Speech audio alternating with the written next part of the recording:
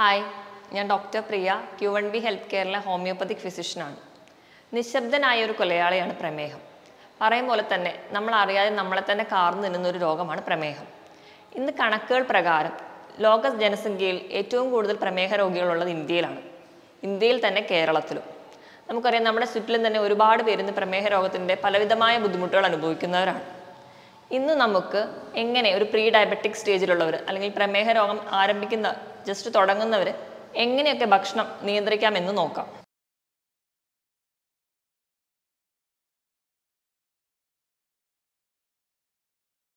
പ്രമേഹം ഒരു നിശബ്ദനായ കൊലയാളി ആവാനുള്ള കാരണം തന്നെ നമ്മളിപ്പോൾ പ്രമേഹമൊക്കെ അറിഞ്ഞിട്ടുണ്ടെങ്കിലും അത് നമ്മൾ ടെസ്റ്റ് ചെയ്യുമ്പോഴോ അല്ലെങ്കിൽ നമുക്ക് പാരമ്പര്യമായിട്ട് പ്രമേഹമൊക്കെ ഉള്ളവരാണെങ്കിൽ നമ്മൾ ഇടയ്ക്കിടയ്ക്കൊക്കെ ഒരു ബ്ലഡ് ചെക്കപ്പിലൂടെ പ്രമേഹമുണ്ടെന്ന് അറിഞ്ഞാലും നമ്മൾ ഒരു ഫിസിഷ്യനെ ഒന്നും കാണാതെ നമ്മൾ കരുതും നമുക്ക് തന്നെ ഒരു ഡയറ്റൊക്കെ ഫോളോ ചെയ്ത് നമുക്ക് തന്നെ കൺട്രോൾ ചെയ്യാം. കാരണം മരുന്ന് കഴിക്കാൻ തുടങ്ങിയ ജീവിതകാലം മുഴുവൻ മരുന്ന് കഴിക്കേണ്ടി വരും എന്ന് തെറ്റായ ഒരു ധാരണ. ഇങ്ങനെയുള്ളതുകൊണ്ട് തന്നെ നമ്മൾ നമ്മുടേതായ ഒരു ഡയറ്റ് ഉണ്ടാക്കും. രണ്ടോ മൂന്നോ ദിവസം മാത്രം നമ്മൾ ഡയറ്റ് ഫോളോ ചെയ്യും. പിന്നീട് അതങ്ങ് വിട്ട് നമ്മുടെ പഴയ ശീലത്തിലൂടെ തന്നെ പോകും. അങ്ങനെ കൺട്രോൾ ചെയ്യാതെ പോകുമ്പോൾ വീണ്ടും ഒരു രണ്ടോ മൂന്നോ മാസം കഴിഞ്ഞ് ബ്ലഡ് ടെസ്റ്റ് ചെയ്യുമ്പോൾ ബ്ലഡ് ഷുഗർ ലെവലൊക്കെ ഒരു ഇരുന്നൂറ്റമ്പതിന് മുകളിൽ എത്തിക്കാണും അപ്പോൾ നമുക്ക് നിയന്ത്രിക്കാൻ പറ്റാത്തൊരു ലെവലിൽ എത്തുമ്പോൾ നമ്മളൊരു ഡോക്ടറെ കൺസൾട്ട് ചെയ്യും. അങ്ങനെ ഒരു സ്റ്റേജിലെത്തുമ്പോൾ ആ ഡോക്ടർക്ക് ഒരു മെഡിസിൻ നൽകിയേ പറ്റുള്ളൂ. അത് മെഡിസിൻ മാത്രമല്ല അതിനോടൊപ്പം സ്ട്രിക്റ്റ് ആയിട്ടൊരു ഡയറ്റ് കൂടി എടുക്കേണ്ടി വരും. അപ്പം നമ്മൾ ആദ്യം നമ്മൾ പ്രോപ്പറായിട്ട് കൺട്രോൾ ചെയ്യാത്തതുകൊണ്ടാണ് ഇന്ന് പ്രമേഹ രോഗികളുടെ എണ്ണം കൂടിക്കൂടി വരുന്നത്. അതുകൊണ്ട് നമുക്ക് ഇന്നത്തെ ഒരു വിഷയത്തിലൂടെ നമുക്ക് എങ്ങനെ ഒരു ഫുഡ് കൺട്രോൾ ചെയ്യാമെന്ന് നോക്കാം. ആദ്യം തന്നെ ഞാൻ പറയാം ഫുഡ് മാത്രം കൺട്രോൾ ചെയ്തുകൊണ്ട് മാത്രം നമുക്ക് ഡയബറ്റീസ് കൺട്രോൾ ചെയ്യാൻ പറ്റില്ല. ഇപ്പം മെഡിസിൻസ് ഒക്കെ വേണ്ടവരാണെങ്കിൽ കൃത്യമായിട്ട് മെഡിസിൻ എടുക്കണം. അതുപോലെ തന്നെ കൃത്യമായ വ്യായാമം ആവശ്യത്തിന് റെസ്റ്റും അതുപോലെ ആവശ്യത്തിനുള്ള വെള്ളവും കുടിച്ചാൽ മാത്രമേ നമുക്കൊരു ഒരു വിധമെങ്കിലും പ്രമേഹ രോഗം അല്ലെങ്കിൽ പ്രമേഹത്തെ കൺട്രോൾ ചെയ്യാൻ പറ്റുള്ളൂ. നമ്മുടെ ക്ലിനിക്കിലൊക്കെ വരുന്ന ഒരുപാട് പേര് നമ്മളോട് ചോദിക്കാറുള്ളതാണ് എപ്പോഴാണ് പ്രമേഹത്തിന് മെഡിസിൻസ് എടുക്കേണ്ടത്?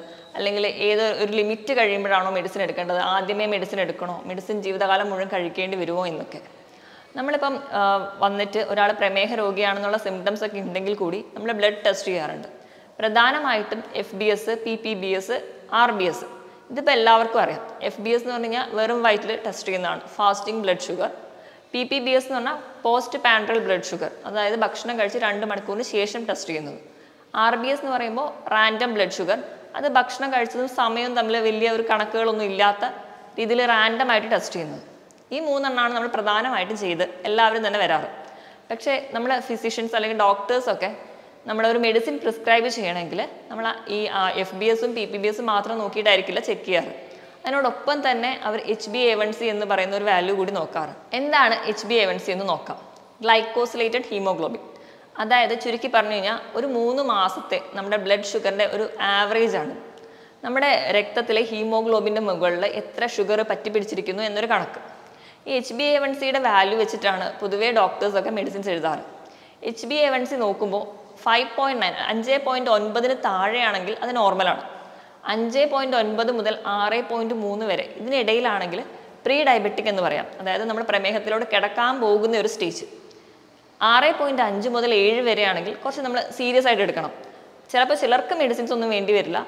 ചിലർക്ക് മെഡിസിൻസ് വേണ്ടി വരും. അതോടൊപ്പം തന്നെ നമ്മൾ സ്ട്രിക്റ്റ് ആയിട്ട് ഫുഡ് കൺട്രോൾ ചെയ്ത് കഴിഞ്ഞാൽ നമുക്ക് പ്രമേഹത്തെ നിയന്ത്രിച്ച് കൊണ്ടുപോകാൻ പറ്റും. ഇനി ഏഴിന് മുകളിലാണെങ്കിൽ സ്ട്രിക്റ്റ് ആയിട്ട് ഡയറ്റും എടുക്കണം. അതോടൊപ്പം തന്നെ മെഡിസിൻസിന്റെ ആവശ്യവും കൂടി ഉണ്ടാവും. ഒരു പ്രമേഹ രോഗത്തിലോട്ട് കിടക്കുന്നവർക്ക് അല്ലെങ്കിൽ ഒരു പ്രീ ഡയബറ്റിക് സ്റ്റേജിന് പറ്റുന്ന രീതിയിലുള്ള ഒരു ഡയറ്റ് എങ്ങനെയാണെന്ന് നോക്കാം.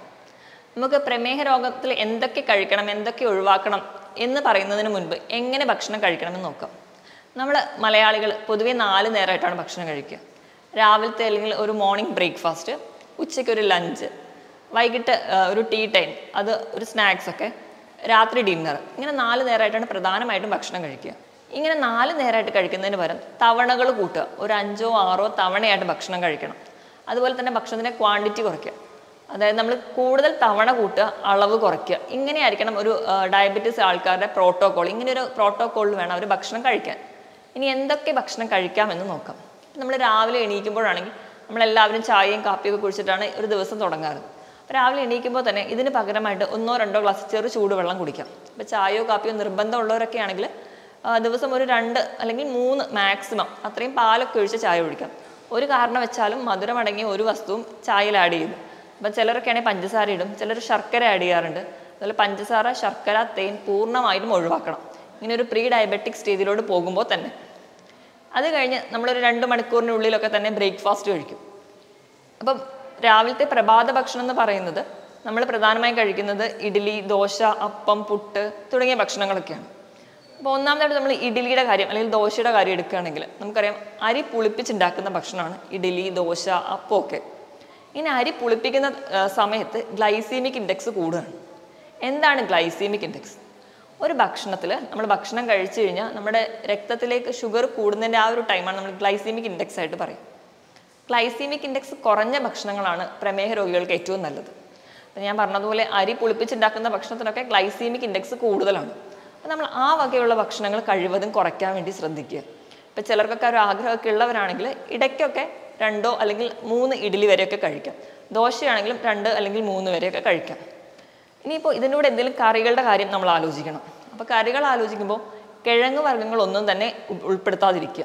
കിഴങ്ങ് വർഗങ്ങൾ എന്ന് പറയുമ്പോൾ ചേന ചേമ്പ് അതുപോലെ കാച്ചിൽ കപ്പ ഇതൊക്കെ കിഴങ്ങ് വർഗങ്ങളാണ് അതുപോലെ തന്നെയാണ് ബീട്രൂട്ട് ക്യാരറ്റ്. ഇവ പലതും പലർക്കും അറിയാത്തൊരു കാര്യമാണ്. ബീട്രൂട്ട് ക്യാരറ്റ് ഒഴിവാക്കുക കൂർക്ക കൂവ ഇവ ഇതൊക്കെ കിഴങ്ങ് വർഗങ്ങളിൽ പെടുന്നതാണ്. ഇതൊക്കെ മാക്സിമം ഒഴിവാക്കാൻ വേണ്ടി ശ്രദ്ധിക്കുക. ഇനിയിപ്പോൾ ഇഡ്ഡലിയൊക്കെ ഉണ്ടാക്കുമ്പോൾ തന്നെയാണെങ്കിൽ നമ്മൾ അരിയും ഉഴുന്നും കൂടെ ആഡ് ചെയ്തിട്ടാണ് ഉണ്ടാക്കുക. അപ്പോൾ ഈ പ്രമേഹ രോഗികൾക്ക് വല്ലപ്പോഴും ഇത് കഴിക്കണം എന്ന് ആഗ്രഹമുള്ളപ്പോൾ തന്നെ അരിയുടെയും ഉഴുന്നിന്റെ ആ ഒരു പ്രപ്പോർഷനിൽ ചെറിയൊരു മാറ്റം വരുത്തുക. ഉഴുന്നിന്റെ അളവ് കുറച്ചുകൂടി കൂട്ടാവുന്നതാണ്. ഉഴുന്ന് പറയുന്നത് കൂടുതലും പ്രോട്ടീൻ ആയതുകൊണ്ട് തന്നെ നമുക്ക് ഉഴുന്നിന്റെ അളവ് കുറച്ച് കൂട്ടുന്നത് വഴി ഒരു വിധമൊക്കെ പ്രമേഹത്തിന് നല്ലതാണ്. അതുപോലെ തന്നെ അരി ഉപയോഗിക്കുമ്പോൾ വെള്ള അരിക്ക് പകരം തവിടുള്ള ചെമ്പാവരി ഉപയോഗിക്കാം. അതുപോലെ തന്നെ ഉലുവ ആഡ് ചെയ്യുന്നതും നല്ലതാണ്. അപ്പം നമ്മൾ ദോശയോ ഇഡ്ഡലിയൊക്കെ ഉണ്ടാക്കുന്ന സമയത്ത് ഒരു പിടി ഉടു ഉലുവ കൂടി ആഡ് ചെയ്യുന്നത് ഒരു പരിധി വരെയൊക്കെ നമുക്ക് പ്രമേഹത്തെ കൺട്രോൾ ചെയ്യാൻ വേണ്ടിയിട്ട് ഉലുവ സഹായിക്കുന്നതായിട്ടാണ് പഠനങ്ങൾ പറയുന്നത്. ഇനി രണ്ടാമതായിട്ട് നമുക്ക് ഭയങ്കര ഇഷ്ടമുള്ളൊരു ഫുഡാണ് പുട്ട്. പുട്ടിന്റെ കൂടെ ഒരിക്കലും പഴം പഞ്ചസാര ഇവ കഴിക്കാതിരിക്കുക. അതിന് പകരം നമ്മളൊരു ചെറിയ കഷ്ണം പുട്ടെടുക്കുകയാണെങ്കിൽ അതിനോട് തന്നെ തുല്യമായ ഒരു അളവിൽ അതായത് വൺ ഈസ് ടു വൺ റേഷ്യോയിൽ പുട്ട് കടല കഴിക്കാം പുട്ട് പയർ കഴിക്കാം. അല്ലെങ്കിൽ അങ്ങനെയുള്ള പ്രോട്ടീൻ ആയിട്ടുള്ള എന്തെങ്കിലും ഒരു ഭക്ഷണം പുട്ട് മുട്ടക്കറി അങ്ങനെ എന്തെങ്കിലും കഴിക്കാം.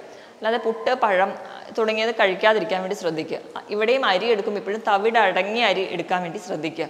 അപ്പോൾ അപ്പം ഉണ്ടാക്കുന്നതാണെങ്കിലും എല്ലാം ഭക്ഷണങ്ങളും തുല്യ അളവിൽ കറി എടുക്കാൻ കഴിയും അപ്പത്തിന്റെ കൂടെ കടലക്കറി ആണെങ്കിൽ ഒരപ്പം എടുക്കുകയാണെങ്കിൽ അത്രയും തന്നെ അളവിൽ കടലക്കറി എടുക്കാൻ വേണ്ടി ശ്രദ്ധിക്കുക.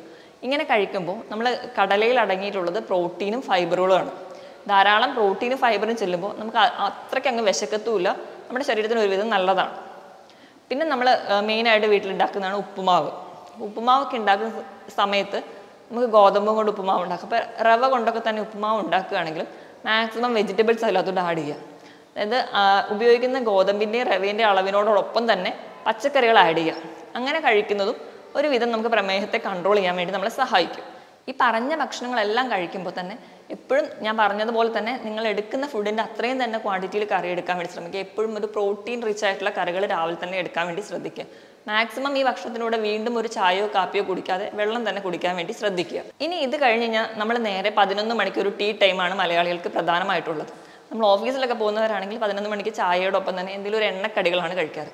ഈ ഒരു ശീലം നമ്മൾ മാറ്റിയിട്ട് ഒരു പ്രീ ഡയബറ്റിക് സ്റ്റേജിലാണെന്ന് അറിയുമ്പോൾ തന്നെ ഒരു ബൗൾ സാലഡ് എടുക്കുക. സാലഡ് എന്ന് പറയുമ്പോൾ നമ്മൾ ഇതിനകത്ത് കുക്കുംബറും അതുപോലെ തന്നെ തക്കാളി എല്ലാം അരിഞ്ഞിട്ടിട്ട് ഒരു ഇച്ചിരി ഉപ്പോ അല്ലെങ്കിൽ ഒരു ചെറുനാരങ്ങയൊക്കെ പിഴിഞ്ഞൊഴിച്ച് നിങ്ങൾക്ക് കഴിക്കാവുന്നതാണ്. മാക്സിമം ക്യാരറ്റ് ഒഴിവാക്കുക. ഇങ്ങനെ ഒരു ബൗൾ സാലഡ് ഉണ്ടെങ്കിൽ തന്നെ നമുക്ക് വയറ് നിറയും. അല്ലെങ്കിൽ നിങ്ങൾക്ക് നട്ട്സ് കഴിക്കാം. ബദാം അണ്ടിപ്പരിപ്പ് ഒരു അല്ലെങ്കിൽ ഒരു കുറച്ച് നിലക്കടല ഇവയെല്ലാം ഒരു പിടി കഴിക്കുന്നതാണെങ്കിൽ നിങ്ങൾക്ക് വലിയ ദോഷം ചെയ്യത്തില്ല. ഒരുവിധം നിങ്ങൾക്ക് പ്രോട്ടീൻ ആയതുകൊണ്ട് പ്രമേഹത്തെ നിയന്ത്രിക്കാനും പറ്റും. ഇനി നമ്മൾ മലയാളികൾ ഉച്ചനേരം അല്ലെങ്കിൽ നമ്മൾ ഊണ്. പ്രധാനമായും നമ്മളൊരു വിഭവ സമൃദ്ധമായിട്ടാണ് ഊണ് കഴിക്കാറ്. ഇനി മൂന്നാമത്തേതാണ് നമ്മുടെ ലഞ്ച് ടൈം അത് നമ്മൾ മലയാളികൾ നല്ല കാര്യമായിട്ട് കഴിക്കുന്ന ഒരു സമയം നമ്മൾ ഹെവി ആയിട്ട് കഴിക്കുന്നത് ഉച്ചഭക്ഷണമാണ് നമുക്കിനി എങ്ങനെ ഒരു പ്രീ ഡയബറ്റിക്സിലുള്ളവർക്ക് ലഞ്ച് എങ്ങനെ മാനേജ് ചെയ്യാമെന്ന് നോക്കാം. നമുക്കൊരു പ്ലേറ്റ് മെത്തേഡാണ് പറയുന്നത്. പ്ലേറ്റ് മെത്തേഡ് എന്ന് പറയുമ്പോൾ കാൽ ഭാഗം നമ്മൾ അരി ഭക്ഷണങ്ങൾ കഴിക്കാം. അരി ഭക്ഷണം എന്ന് പറഞ്ഞാൽ തവിടടങ്ങിയ അരികൾ അല്ലെങ്കിൽ കുത്തരി ഉപയോഗിക്കാൻ വേണ്ടി ശ്രദ്ധിക്കുക. നിങ്ങൾക്ക് ഒരു പിടി വരെ ചോറ് ഉപയോഗിക്കാം. അതുപോലെ തന്നെ ഇപ്പോൾ ചോറിന് പകരം നിങ്ങൾക്ക് ചപ്പാത്തി ആണെങ്കിൽ ഒന്നോ രണ്ടോ ചപ്പാത്തി കഴിക്കാം. പിന്നെ ഒരു കാൽ ഭാഗം എന്ന് പറയുന്നത് പ്രോട്ടീനാണ് പ്രോട്ടീൻ എന്ന് പറയുമ്പോൾ നിങ്ങൾക്ക് മുട്ട ഉപയോഗിക്കാം. പയർ പരിപ്പ് കടല എന്ത് നിങ്ങൾക്ക് പ്രോട്ടീനായിട്ട് ഉപയോഗിക്കാം. അല്ലെങ്കിൽ പനീർ തുടങ്ങിയ പ്രോ ഇതൊക്കെ പ്രോട്ടീനേഷ്യസ് ഫുഡാണ് ഇതൊക്കെ നിങ്ങൾക്ക് ഉൾപ്പെടുത്താം. ഇത് കഴിഞ്ഞ് ബാക്കിയുള്ള ഒരു അരഭാഗം എന്ന് പറഞ്ഞാൽ പച്ചക്കറികൾക്ക് വേണ്ടിയിട്ട് ഉപയോഗിക്കണം. പച്ചക്കറികൾ നിങ്ങൾക്ക് സാലഡായിട്ട് ഉൾപ്പെടുത്താം അല്ലെങ്കിൽ എന്നും നിങ്ങൾ ഇലക്കറികൾ ഉൾപ്പെടുത്താൻ വേണ്ടി ശ്രദ്ധിക്കുക.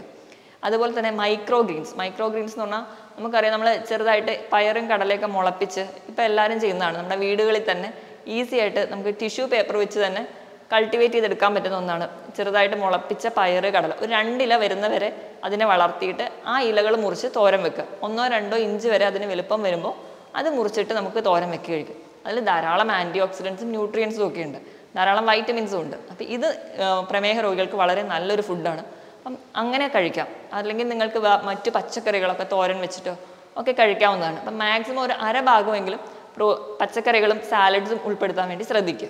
ഇനി വൈകുന്നേരത്തെ ചായ എന്ന് പറയുന്നത് എല്ലാവർക്കും നിർബന്ധമുള്ളതാണ്. അപ്പം മാക്സിമം അത് ഒഴിവാക്കാൻ വേണ്ടി ശ്രദ്ധിക്കുക. അതിന് പകരം നിങ്ങൾക്ക് ഗ്രീൻ ടീ ഉപയോഗിക്കാം. അപ്പം അങ്ങനെ സ്നാക്സ് ഒക്കെ നിർബന്ധം അല്ലെങ്കിൽ ചായ നിർബന്ധമുള്ളവർക്കാണെങ്കിൽ നിങ്ങൾക്ക് ചായ ഉപയോഗിക്കാം. മാക്സിമം പഞ്ചസാരയോ ശർക്കര തേനോ ഇതൊക്കെ ഒഴിവാക്കാൻ വേണ്ടി ശ്രദ്ധിക്കുക. ഇങ്ങനെ ഒരു സമയത്ത് നിങ്ങൾക്ക് നേരത്തെ പറഞ്ഞ പോലെ എന്തെങ്കിലും ഒരു ഫ്രൂട്ട്സ് കഴിക്കാം. ഏതെങ്കിലും ഒരു പഴവർഗങ്ങൾ. ഏതെങ്കിലും ഒരെണ്ണം മാത്രം നിങ്ങൾ ഒരു ദിവസം വേണ്ടി കഴിക്കാൻ വേണ്ടി ശ്രദ്ധിക്കുക. ഇപ്പം നിങ്ങൾക്ക് എന്ന് പറഞ്ഞാൽ ഒരു പ്രമേഹം ഉണ്ടെന്നോർത്ത് അല്ലെങ്കിൽ പ്രമേഹം ഒരു ബോർഡറിലാണെന്നോർത്ത് എല്ലാ പഴവർഗങ്ങളും ഒഴിവാക്കേണ്ടതില്ല. കാരണം പഴവർഗങ്ങളിൽ ധാരാളം ആന്റി ഓക്സിഡൻസും ന്യൂട്രിയൻസും നമ്മുടെ ശരീരത്തിന് ആവശ്യമായിട്ടുള്ള ഇമ്മ്യൂണിറ്റി ഒക്കെ തരുന്നത് ഈ ഫ്രൂട്ട്സാണ് അപ്പം നിങ്ങൾക്ക് ഒരു ദിവസം ഒരു ആപ്പിൾ കഴിക്കാം ഒരു ഓറഞ്ച് കഴിക്കാം. അപ്പം ചെറുപഴമൊക്കെ ആണെങ്കിൽ ഒരുപാട് മധുരമുള്ള പഴങ്ങൾ കഴിക്കാതിരിക്കുക. മാക്സിമം ചെറിയ പുളിയുള്ളത് വൈറ്റമിൻ സി ഉള്ള ഓറഞ്ച് മുസംബി തുടങ്ങിയ ഫ്രൂട്ട്സുകൾ കഴിക്കാം. ആപ്പിൾ പേരയ്ക്ക തുടങ്ങിയ ഫ്രൂട്ട്സ് തണ്ണിമത്തൻ ഇവയൊക്കെ നിങ്ങൾക്ക് കഴിക്കാവുന്നതാണ്. ഇതിനൊന്നും അതിന് മാത്രം ഒരു ഗ്ലൈസീമിക് ഇൻഡെക്സ് ഇല്ലതാണ്. അപ്പം നിങ്ങൾക്ക് ഏതെങ്കിലും ഒരു ഫ്രൂട്ട് ഈ ഒരു സമയത്ത് കഴിക്കാം. അല്ലാതെ തന്നെ ഇപ്പം സ്നാക്സ് ആയിട്ട് നിങ്ങൾക്ക് ഷുഗർ ഫ്രീ ആയിട്ടുള്ള ബിസ്ക്കറ്റ്സ് ഒക്കെ ഉണ്ട്. അത് വേണമെങ്കിൽ അത് ഉപയോഗിക്കാം. ഇനി നമുക്ക് രാത്രിയത്തെ ഡിന്നറിന്റെ കാര്യം നോക്കുകയാണെങ്കിൽ ഡിന്നർ മാക്സിമം ഒരു ഏഴ് മണിക്കെങ്കിലും കഴിക്കാനായിട്ട് ശ്രദ്ധിക്കുക. ഏഴ് മണിക്ക് നമ്മൾ ഒരു ഡിന്നർ കഴിക്കുന്നതാണ് എപ്പോഴും നല്ലത്. നിങ്ങൾ ആ ടൈമിൽ കഴിക്കുമ്പോൾ നിങ്ങൾക്ക് ചപ്പാത്തി കഴിക്കാം. ഒന്നോ രണ്ടോ ചപ്പാത്തി. അതുപോലെ തന്നെ അതിനോടൊപ്പം തന്നെ ഒരു ബൗൾ സാലഡ് കഴിക്കാം അല്ലെങ്കിൽ ഓട്സ് കഴിക്കാം. പറഞ്ഞ രീതിയിൽ എന്തെങ്കിലും ഒരു പ്രോട്ടീൻ റിച്ച് ആയിട്ടുള്ള ഒരു കറി ഉപയോഗിക്കാം. ഇങ്ങനെയൊക്കെ കഴിക്കുകയാണെങ്കിൽ നിങ്ങൾക്ക് ഒരു ഹെൽത്തി ഡയറ്റിലോട്ട് പോകാം ഏഴ് മണിക്ക് കഴിച്ചു കഴിഞ്ഞാൽ പിന്നെ വേറെ ഭക്ഷണമൊന്നും കഴിക്കാതിരിക്കുക. പിറ്റേ ദിവസം രാവിലെ ഒരു എട്ട് മണി ഒമ്പത് മണിക്കാണ് നമ്മൾ പിന്നീട് ഒരു ഭക്ഷണം കഴിക്കുന്നതെങ്കിൽ നമുക്ക് ഈ ഒരു പന്- പന്ത്രണ്ട് മുതൽ പതിമൂന്ന് മണിക്കൂർ വരെ ഒരു ഇന്റർമീഡിയറ്റ് ഫാസ്റ്റിംഗ് കൂടിയാവും. ഇത് നമുക്ക് ഒരു വിധമൊക്കെ നമ്മുടെ പ്രമേഹത്തെ നിയന്ത്രിക്കാൻ പറ്റും. ഈ പറഞ്ഞതുപോലെയൊക്കെ നിങ്ങൾ കൃത്യമായിട്ട് ഡയറ്റ് ഫോളോ ചെയ്യുക. ഒന്നോ രണ്ടോ ദിവസത്തേക്ക് മാത്രമല്ല ജീവിതകാലം മുഴുവനൊക്കെ ഇങ്ങനെ ഫോളോ ചെയ്യുകയാണെങ്കിൽ നിങ്ങൾക്ക് ഒരു പരിധി വരെയൊക്കെ നിങ്ങളുടെ മരുന്നിലോട്ട് ഒന്നും പോകാതെ തന്നെ നമുക്ക് പ്രമേഹത്തെ കൺട്രോൾ ചെയ്യാം. ഇങ്ങനെ ഒരു ഫുഡ് കൺട്രോൾ ചെയ്തവർ മാത്രമായിരിക്കും ചിലരുടെ ശരീരത്തിന് മെഡിസിൻസ് ആവശ്യമുള്ളവരായിരിക്കാം. അങ്ങനെയുള്ളവരാണെങ്കിൽ കൃത്യമായിട്ട് ഒരു ഡോക്ടറെ കണ്ടിട്ട് മെഡിസിൻസ് ചോദിച്ച് മനസ്സിലാക്കണം. അതുപോലെ തന്നെ ഒരു ഡോക്ടറുടെ സഹായത്തോടെ മാത്രമേ നിങ്ങൾ ഇങ്ങനെ ഒരു ഡയറ്റ് ഫോളോ ചെയ്യാൻ പാടുള്ളൂ. ഇങ്ങനെ കൃത്യമായ ഭക്ഷണം ഫോളോ ചെയ്യുമ്പോൾ കൃത്യമായ വിശ്രമം വേണം. അതുപോലെ തന്നെ രണ്ടോ മുതൽ മൂന്ന് ലിറ്ററോളം വെള്ളം ദിവസം കുടിക്കുക. കൃത്യമായിട്ട് വ്യായാമം ചെയ്യുക. അപ്പോൾ ആഴ്ചയിൽ അഞ്ച് ദിവസമെങ്കിലും നാൽപ്പത്തി അഞ്ച് മിനിറ്റ് മുതൽ ഒരു മണിക്കൂർ വരെ നിങ്ങൾക്ക് പറ്റുന്ന രീതിയിലുള്ള ചെറുതായിട്ടുള്ള നടത്തം ജോഗിങ് പറ്റുന്ന രീതിയിലുള്ള വ്യായാമങ്ങൾ കൃത്യമായിട്ട് ചെയ്യാൻ വേണ്ടി ശ്രദ്ധിക്കുക. ഇങ്ങനെയൊക്കെ ചെയ്തു കഴിഞ്ഞാൽ ഒരു പരിധി വരെയൊക്കെ നമുക്ക് പ്രമേഹത്തെ നിയന്ത്രിക്കാൻ പറ്റും. മറ്റൊരു ഹെൽത്ത് ടോപ്പിക്കുമായിട്ട് വീണ്ടും കാണുന്നത് വരെ നന്ദി.